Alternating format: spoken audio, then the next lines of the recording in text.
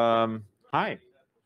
Um, I'd like to talk today about uh, secure unified kernel images for generic Linux distributions and everyone else. Um, this is uh, supposed to address something that uh, for a longer time I think was uh, pretty solved pretty terribly on uh, generic Linux distributions. And I think we should do something about this. So uh, yeah, this is going to highlight some ideas, and most of these ideas are actually already. Oh, am I? Can I take this off? Yeah, yeah. Um, so uh, uh, most of these ideas are uh, also uh, already implemented, so they're not just ideas. Um, but uh, uh, they you you still have to put all the building blocks together to actually get the result, and this is where there's still a lot of space to discuss. So um, before I start with all the stuff that I actually want to talk about, let's talk about what the status quo right now is. So uh, the kernel image um, right now is uh, typically on the big distributions, regardless if you use uh, Fedora, RHEL, Ubuntu, SUSE, it doesn't matter. It's pretty much always the same. The kernel image itself is signed. Um, it's built by the OS vendor and signed by the OS vendor. The initial RAM disk, however, um, is not signed nor encrypted and usually generated locally right? Like uh, you install the kernel RPM and it has the effect of locally calling an initRD generator and it, generates an initRD and drops it into slash boot. And uh, yeah, that happens every time you update your kernel. It happens every time you have to change some basic configuration that affects uh, the initRD um, and so on. Um, these initRD generators are basically every distribution has their own. Um, uh, SUSE has one, I think they actually switch to the one that uh, Red Hat has. But traditionally, I mean, there are as many initRD generators as there are distributions. These initRD generators are usually shell scripts that try to magically figure out what actually needs to be in the initRD image and what doesn't. Um, and the way they do this is mostly by parsing the output of LDD, right? Like look at the ELF binaries, look at the LDD output of it, and then figure out, okay, I need this library and this library. It's all a little bit black magic because um, this information is relatively incomplete um, uh, uh, uh, like it cannot cover things like loadable modules, like for example libNSS stuff um, and things like that. So uh, yeah, that it's basically in a way it builds its own weaker form of packaging um, with dependencies and all those things on individual file level. Um, even though most of the distributions have a package manager anyway. Um, I know these generally mix code and configuration. I mean, there's some certain beginnings of uh, separating this because you have the kernel command line where you're supposed to put all the configuration and then inside of the initRD you're not. But in reality, because uh, uh, initRDs uh, end up with complex stuff, with certificates, with uh, things like that, um, uh, yeah, the initRDs actually tend to also contain configuration a lot. So it's all this fuzzy ball of everything that might be needed. Um, yeah, parameterization, I already indicated that this happens via command line. And yeah, well, by including configuration files at the initRD image. Um, yeah, as mentioned, I mean, there, there are other ways how to do this, and there are certain systems that do it other way, but this is like, I'm, I'm trying to um, focus here on the big picture, how generic distributions do it, and I would like to propose how to change that. So the problems I see with this is yeah, there's no integrity checking whatsoever, right? Like uh, we have all this infrastructure for secure boot, but it only protects the kernel itself, not the initRD. It's the initRD is not protected in any way. It's trivial, trivial to backdoor the boot process of a generic Linux system because yeah, CPIOs has no protection, nothing. Every script kiddie can do this with the least amount of effort. Insert any kind of binary that gets started um, before um, full disk encryption is set up and can ask the, the secrets um, that it needs for full disk encryption from you, um, and you will have no way to figure that out. There's no confidentialities in initRD images, right? You want these two, um, usually, um, if you want, uh, yeah, to have secrets, uh, credentials for network boot and so on. Like you, you want to boot from iSCSI, and you need an iSCSI password for the things like this. Um, yeah, it mixes everything. So uh, yeah, it's not very clean in any way. It's fragile because the way it's built, right? Like it's on the individual system, so it will vary widely between systems, um, and it's it's it's fragile because part is LDD. It's a giant shell script that yeah might hopefully run, but also might be not run the way you expect. Um, uh, we nowadays want measured boot, right? TPM measurements, um, but uh, that, that's all great if you can uh, measure an initrd, but what's even greater is if you can actually uh, pre-calculate what the PCR measurements will result in. Because uh, why do you actually do the TPM measurements? Is because you want to be able to bind disk encryption to it or other form of uh, security constructs to it. But if you cannot um, pre-calculate um, uh, what's the hash values um, will be, um, like the PCR values uh, will be uh, once you install this kernel in this initrd or something, it's very hard to bind stuff to it because it basically means, uh, yeah, you have to boot up, look at the values, then you can bind your stuff to these values. Um, and then you have a problem when the kernel is updated or the initrd updated because that means, yeah, you have to now recalculate the hashes and then update every single object you bound to it. And that's a mess, of course. So uh, yeah, you want pre-calculated um, PCR values. Yeah, it's untestable due to combinatorial explosion, right? Like um, as we professionalize how Linux development works, we usually nowadays have large CI systems that try to really test as much as we can of all the components that we have. But this is almost impossible to do properly for initrds because there's so many options, and then you stick the, the, the configuration in it, and yeah. Um, yeah, and then of course also means that uh, changing low-level OS configuration always requires to do a rebuild, right? Like it's basically as if you're rebuilding your whole operating system every time you just make a tiny configuration to where you want to boot from. Um, it also has its good things, right? Like for example, uh, uh, it's extremely flexible and hackable. I mean, hackable can be a good thing uh, too. It's not just a bad thing if uh, somebody can exploit your system. It's also a good thing because it's very easy. You just throw another file and rerun the generator, and there you go. Um, it's uh, it's typically more minimal than than the usual package manager um, approaches, right? Like if you build the initrd from RPM, it's going to be larger, but yeah. Um, and it's already implemented, tested, and deployed. So uh, yeah, just so uh, I wanted uh, just put this slide here basically so that people don't complain that it didn't have any goods. It has goods. So um, with the stuff that I actually want to talk about, um, these are the goals that I want to cover, right? I want to be able to pre-build initRDs um, that can be signed by the vendor, right? Like so that if Fedora wants to to uh, uh, ship uh, um, their distribution, they will ship it with one initRD that is pre-built on Koji, on the build system of uh, Fedora, and similar for the other distributions. Um, I want uh, secure parameterization of kernels and initRDs, right? That we um, have a high, uh, like, like that we can guarantee both integrity and confidentiality of the parameters we pass to it. This is, uh, I think, this is a necessity because, uh, yeah, we nowadays live in a world where you want to ship TLS certificates and iSCSI passwords and whatnot. So we should have some strategies there that even though we pre-build everything and make it immutable, we also still can pass parameters to it um, that are better protected than they are right now. Um, what I also care a lot about is uh, stable deterministic TPM measurements that can be pre-calculated. I already explained that earlier um, why that's a good thing. Um, yeah. I want still some degree of modularity, right? Like because if we pre-build them on by the by the distribution, this of course, um, if you do it naively, basically means everybody runs the same initrd, and that basically means everybody has to make the same choices on I don't know, storage uh, uh, systems like everybody has to use LVM because that's what we built at the initRD or something, and so on. This, of course, not going to fly, right? Like for general purpose distribution, like Fedora, for example, is, um, yeah, you probably want some modularity because uh, people do crazy stuff in the um, uh, with uh, how they boot the system. So uh, yeah, having a single um, initRD and that's that all would probably not suffice. Um, what I also care about is uh, kernel initRDs I want as atomic single file updates, right? Like uh, um, these things need to be um, invoked by the bootloader, loaded into memory by the bootloader. And it, it really is an interesting property if we can stick all these things into single files and update them as a single file because that's as close as we get to atomic behavior, meaning that we can update a system and um, because usually the file systems that the bootloaders read are bad, like VFAT, for example, um, you want to not stress the file system too much and uh, make too many updates that are all required to compete before you can actually boot safely. So uh, I can I want atomic fi uh, single file updates, right? Basically, you drop one new file in there. Once you dropped it in there, you rename it to the file name, and that's it. That's the end of the story. That's your update of the kernel, initrd, and so on. Um, those are my goals, and this is how I intend to do this. Um, let's pre-build basic initrds on OS vendor's build system. I mean, so far that I guess is uh, obvious.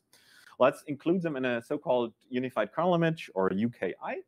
Um, and uh, right, you put, put these components together and you sign them um, on the uh, vendor systems all together as one. Uh, then let's add an extension concept because after all, we wanted a certain level of modularity um, where we can uh, uh, yeah, add weird networking, weird storage, all the stuff that people want um, without actually having to support that all in the basic initrd. Um, so yeah, that's this approach to, to deliver some form of modularity, not the same as before, but at least some.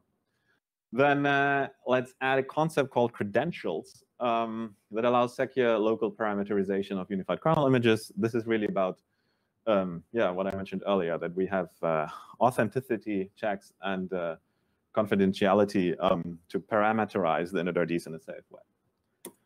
Um, let's measure these unified kernel images, um, like the individual components, into a PCR that is otherwise not used um, PCR 11 I picked for that um, because it's, if it's otherwise not used, it starts with zero if we measure our stuff into it. And we can calculate uh, very easily um, uh, what the value is going to be after the kernel has booted.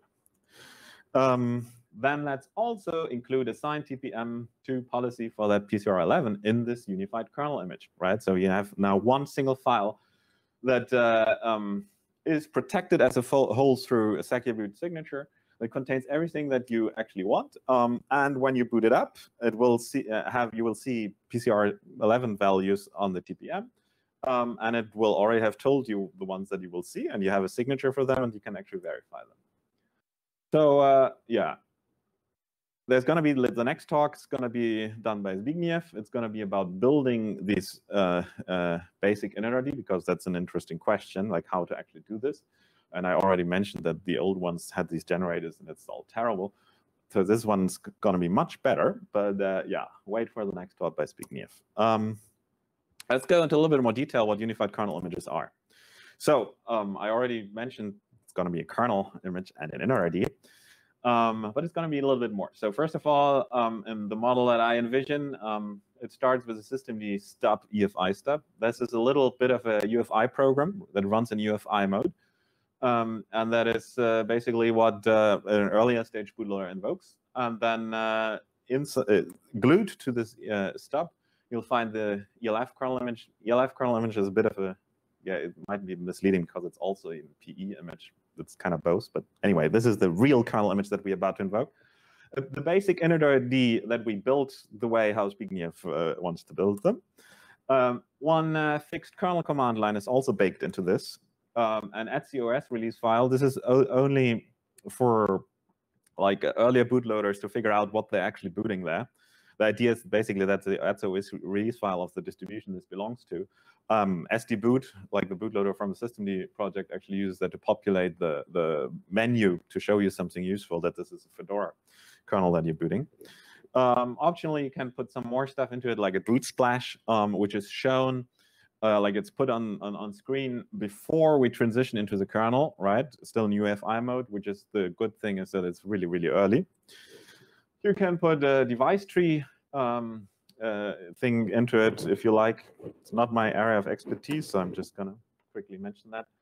Um, and then this, I briefly mentioned this already, that we uh, can put a signed TPM2 policy um, uh, into this of the PCR values that we expect once the kernel is booted. By the way, I know that I'm very quickly going over all the TPM stuff, and I guess not everybody here knows the TPM stuff so well, but I yeah, I'm. It's just one facet of the TPM that I, care about, which is about the measurements. And uh, if you want to know the details, I hope uh, you can look it up on Wikipedia. It's it's not that hard, and then have another look at that stuff. It's probably the easiest part about all the TPM complexity.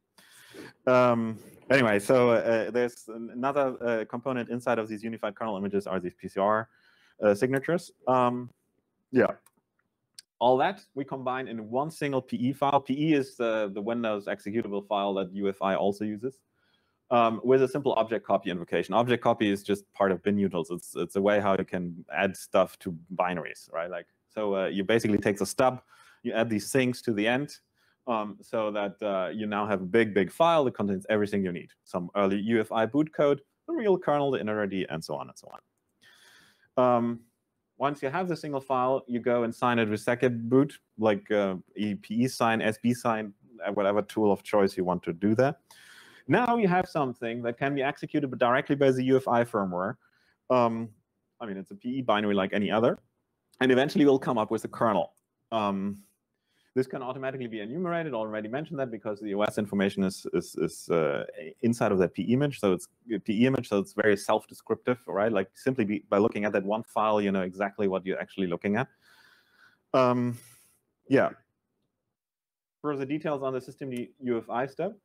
I already mentioned that it's a small piece of code that still runs in UEFI mode, not in Linux mode, but in, in UEFI mode. It uh, what it mostly does, it it it sees that it has been loaded. It's a PE executable, um, and then just iterates through all the PE sections, like sections are parts of a binary, and uh, tries to find these components. Once it found them, it uh, yeah ultimately invokes the kernel and the initRD with the kernel command line. That's kind of the key thing what it does. But before that, it can do other things like trivial things like display a boot splash on screen, uh, load the device tree thing. But the most interesting thing I, uh, um, is, uh, from my perspective at least, is that it measures the container contained kernel and uh, initRD into PCR-R11. I mentioned this this earlier. Um, PCR11 is otherwise unused. So uh, by doing this, um, we have pre-measured basically what we're going to start.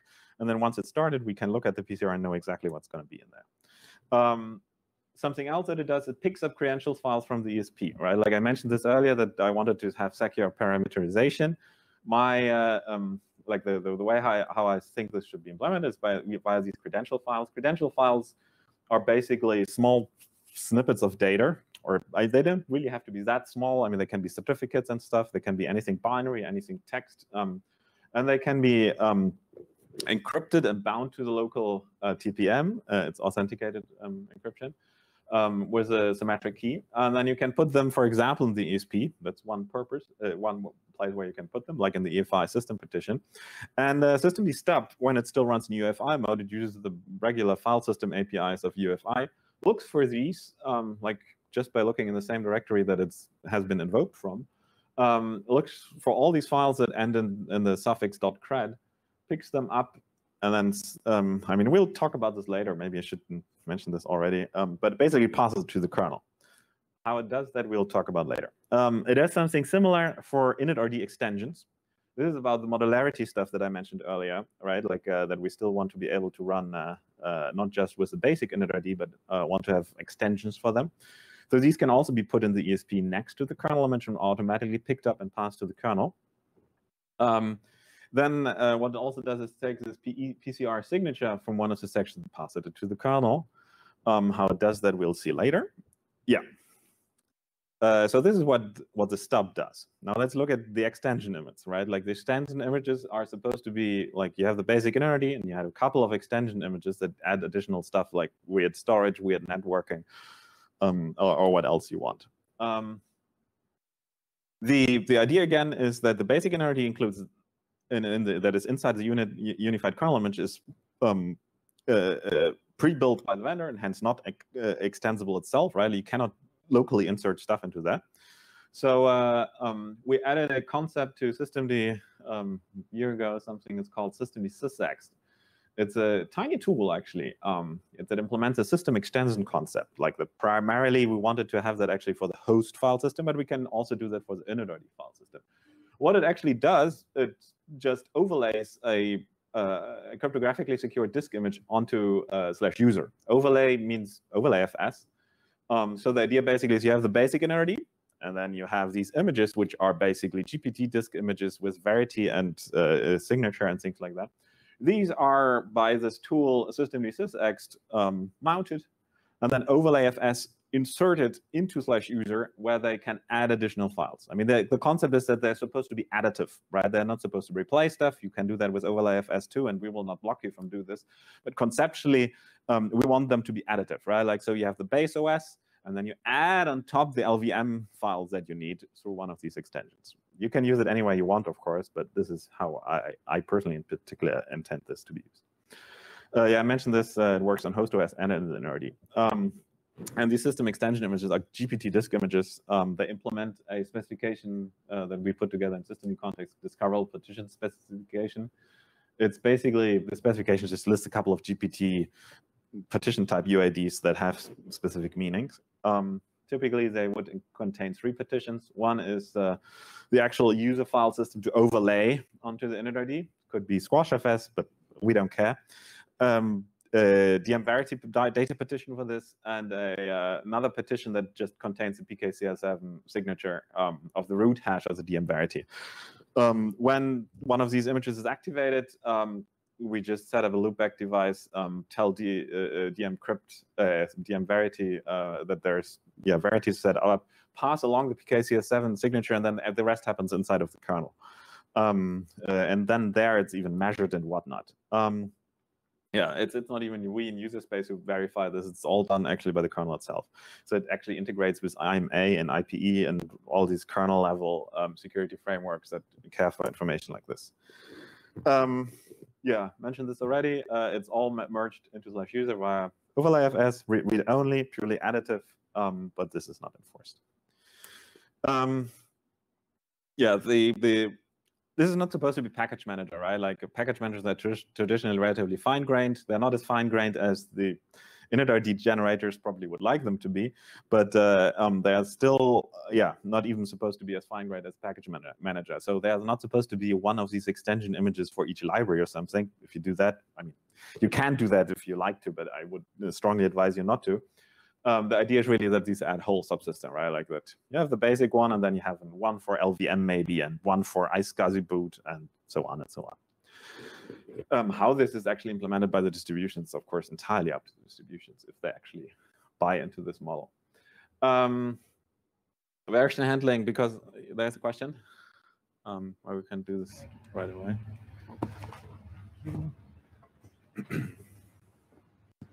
Uh, hello. Uh, I have a question. So these extension modules are signed also by the vendor, or yeah? Okay. So the idea basically is that these uh, extension images are built at the same time uh, uh, as the initRD uh, are, themselves are built at the same time as the kernel is built, and they just are not installed by default, except if you actually want it. So it's it's not supposed to be a package manager again, right? Like, and there, because of that, there's also really no version handling right? Like there is no, I need this specific kernel version at least and this one at most or something like this. We don't want dependency hell uh, stuff and not replicated package manager. So all it does basically, there's a system extension API level, and then you say, okay, this is for kernel number 77, API 77, and then, or initRD uh, 77, then that's it. And it, how you upgrade that level is entirely for you, but it's supposed to be linear and simple, but again, this is for the distributions to figure out how to they actually want to use this. This is just how I say how this should go. So how are these extension images picked up by um, the kernel when booted? I mentioned this already that the systemd stub is supposed to um, search for these files in the ESP directory where the image itself is in um, it loads them then into memory and generates on the fly CPIO um, initRD image from them. Because um, not everybody knows this, but the kernel actually is happy to uh, uh accept as many CPIO archives um, as uh, you want. You can just concatenate them. Um, and uh, CPIOs are extremely simple uh, format. I mean, there's a reason why the kernel picked that format uh, for the initRDs. So we can actually trivially um, easily generate them also from that systemd stub UEFI stuff. So this is what it does, and it puts them in one fixed directory in uh, uh, slash dot extra dot sysext. Um, it basically, yeah, this makes sure that we can use the ESP um, UEFI firmware drivers to still load them, and then in the initRD, they're just that. So I have a question. Uh, the dot extra directory, as I understand correctly, it lives on rootfs, right?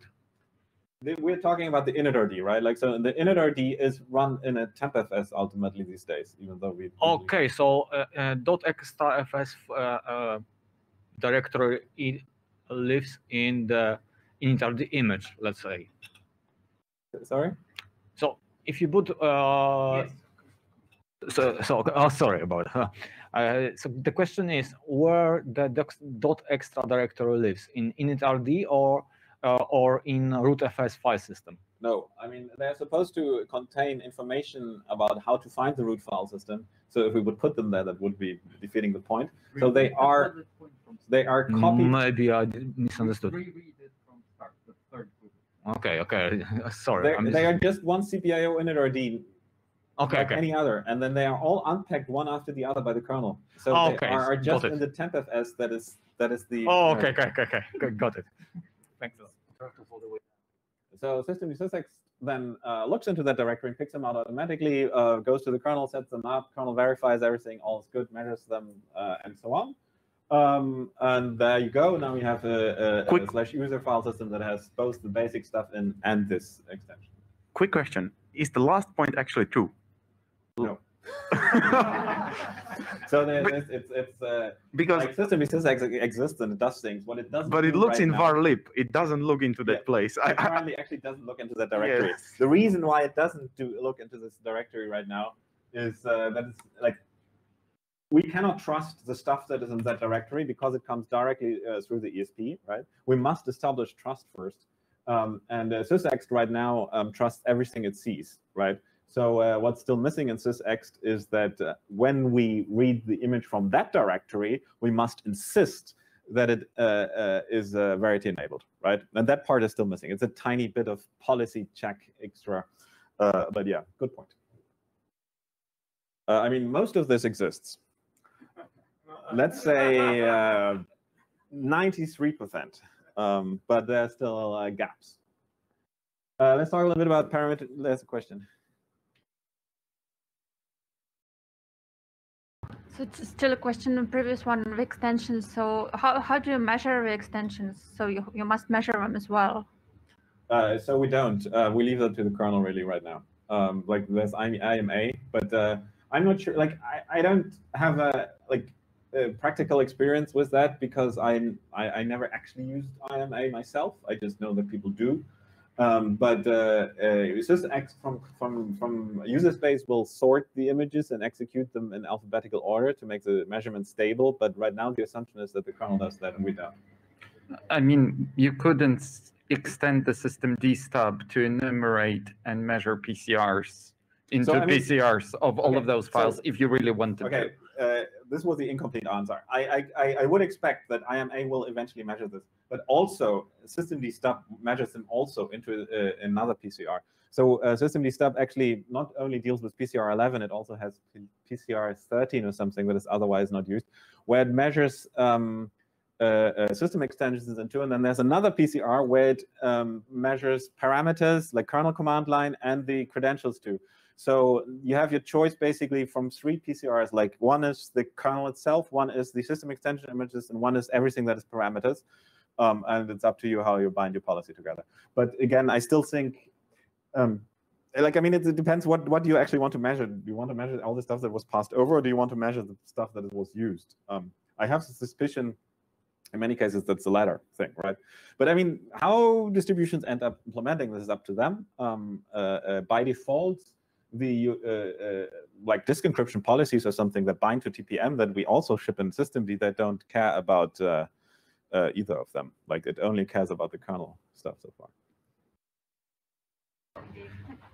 Things like command line and, and changes to an InitRD, we can be sensitive from security point of view. So that's why it's actually important to measure everything. Yeah, yeah, we, So- we do measure yeah, everything. Yeah, like and that's, actually, that's enough. And then everyone can do if you look like in the man policy. page um, uh, that we have about this, it actually measures like because different parts of the system measure different things to different PCRs. There's a massive overlap.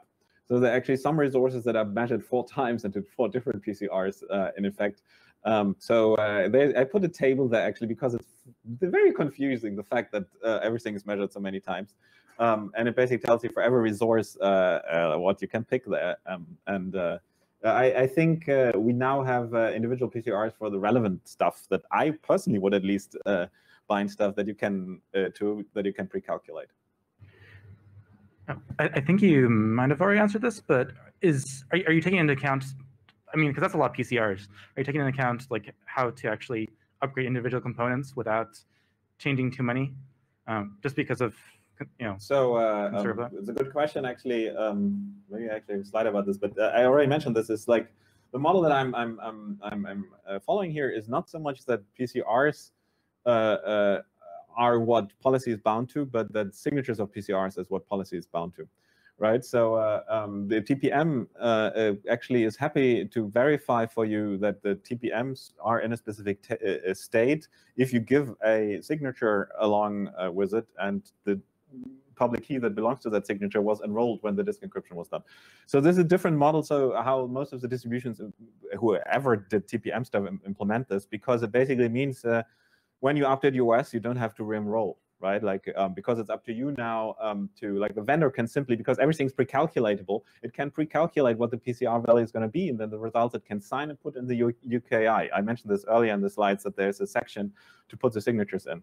Um, and this is what what is then used uh, and basically relieves us from having to re-enroll and everything because the idea of re-enrolling on system updates um, uh, because all the TPMs change every time again and again that might work if you only care about root file system and nothing else.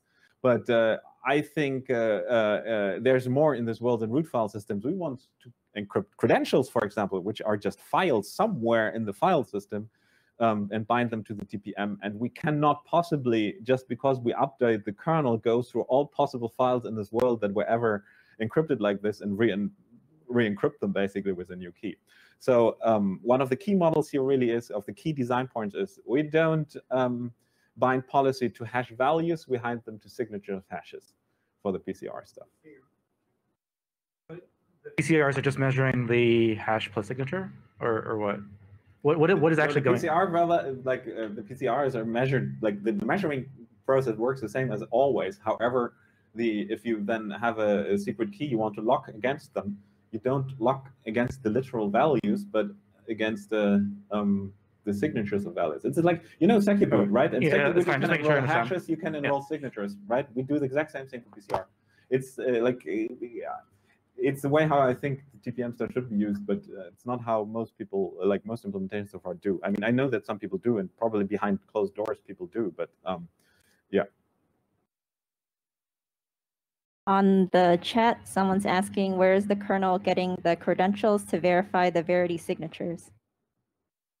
Uh, um, the Verity signatures, like, I mean, uh, uh, the credentials to verify the kernel. Uh, like, uh, the, the public key is baked into the kernel itself.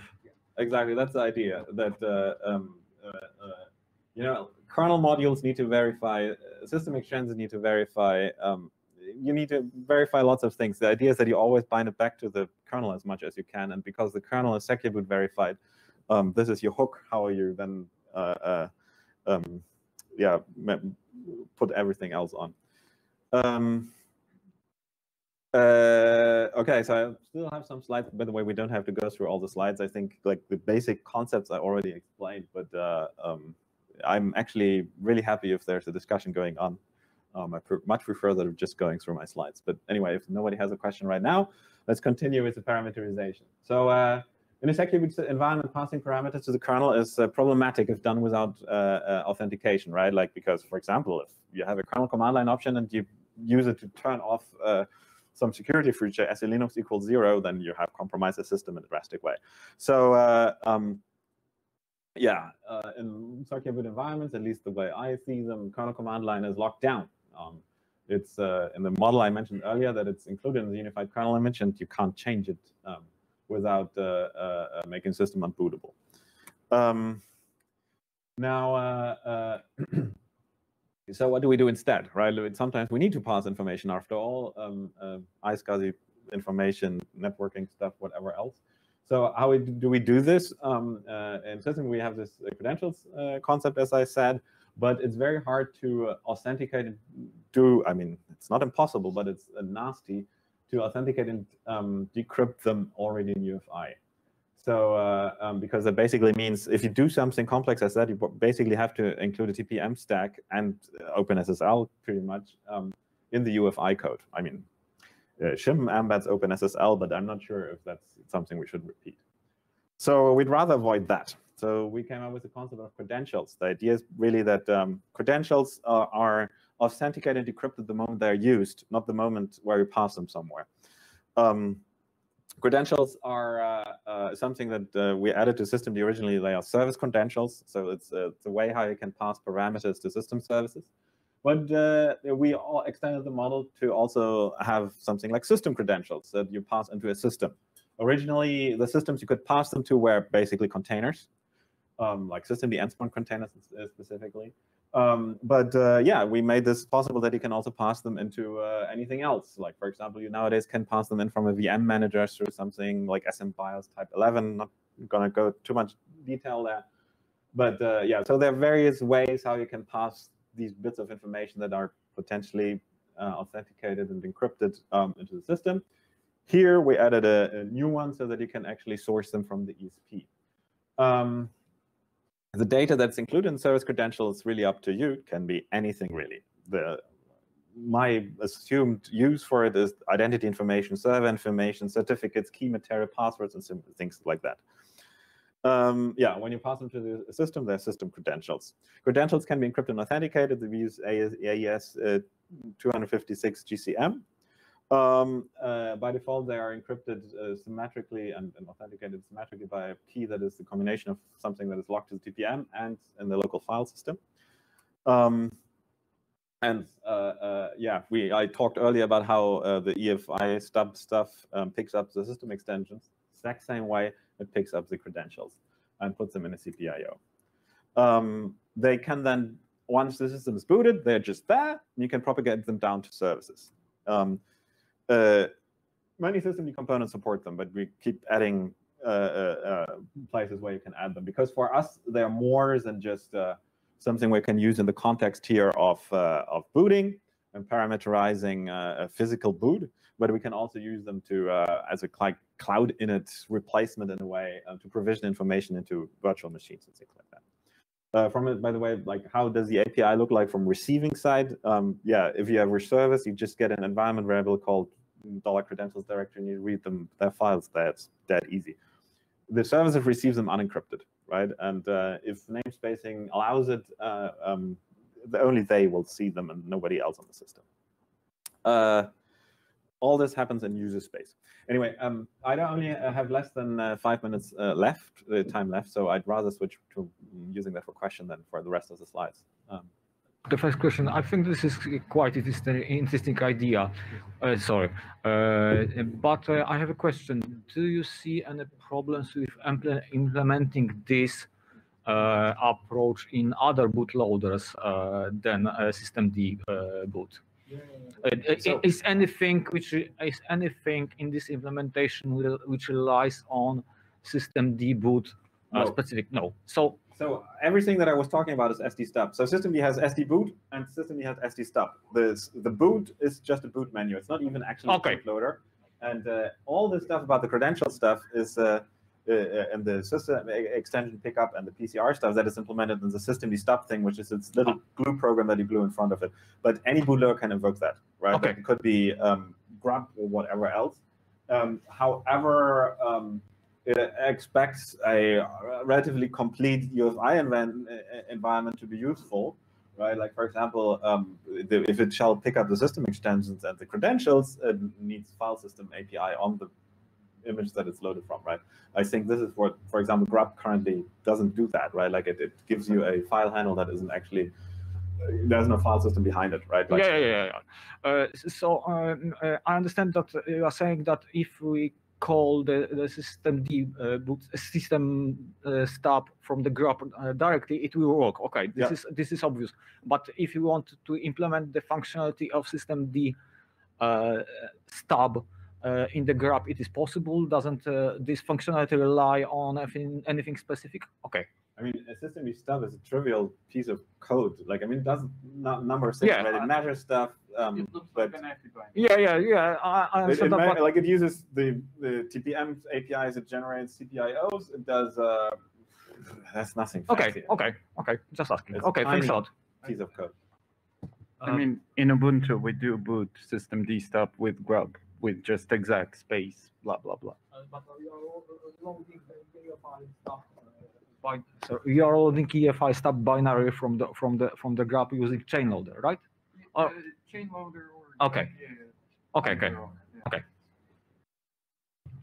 Uh, sorry, just one quickly. Um, you mentioned that the command line is is signed and you can't change it, but then you, I, had the impression that you were about to say how there is a way you can modify it, but I don't see that here. It's just not possible at all. Well, So I mean, this is a, an issue that comes up, all, all, um, like uh, this entire ideas have been circulating for a while, right? Like, and this is an issue that it comes up all the time because people love changing the uh, kernel command line. So um, I personally do not do that very much, right? Like, I, it's um, I, I know that people do that. I know that people do this, but uh, um, I think uh, if you change your kernel command line, you're a hacker, right? You're not a regular user. And that's if you then turn off SecureBoot to allow this, then that I think it's fine. That said, people have been asking for this all the time, and this recently came up in confidential computing uh, context, where people asked, um, they don't actually care that they want to be change the kernel command line freely. They just want to be have the ability to choose from a couple of okay um, choices, right? Like example, they want one that indicates debug boot and another one that's uh, factory reset boot and things like that. So uh, uh, we discussed this as an RFE in systemd, and everybody agrees how to do this. That we just going to allow that you can embed in a couple of other more PE sections that just encode, oh, by the way, this is also a good configuration where you pass, like where you define a fixed command line, give it a name, um, like an identifier and, and, a pretty name, and then um, SD-boot, for example, looks at this PE, section and looks at all of them, and then it finds like seven different configurations are supported and generates seven uh, boot menu items from them, and uh, that's how you support them. But uh, I know that people want total flexibility, but I mean, you have to make compromises in life, right? Like you can't um, give people the, the, ability to turn off all the security features because that's what the kernel command line does if you want to enforce security. Like yeah, I mean, I, I was about to just give the example of uh, the debug mode in systemd, whatever, which is in the command line. But if, if it's one of those things where you can pick from Yeah. a certain set, then for most users, that's probably enough. That's it. Exactly right. Like, and then the distributions would have the freedom to pick as many different sets that they want to support. Um, and then yeah. Anyway, this Yeah. So, a question regarding the um, the extended modules that you're talking about. So, the flexibility here will be uh, laying for the vendor. So, the vendor will choose what do they think the user will need, and they will create these extensions. They, you won't give the ability to the users to be able to load their own. well, um, you can do whatever you want with this, right? Like, is this just like the model that I have in my head? I'm I'm not even a distribution vendor personally. Um, it's like uh, uh, uh, it's do it use it the way you want. Um, uh, uh, we we this is all new stuff that is not widely deployed.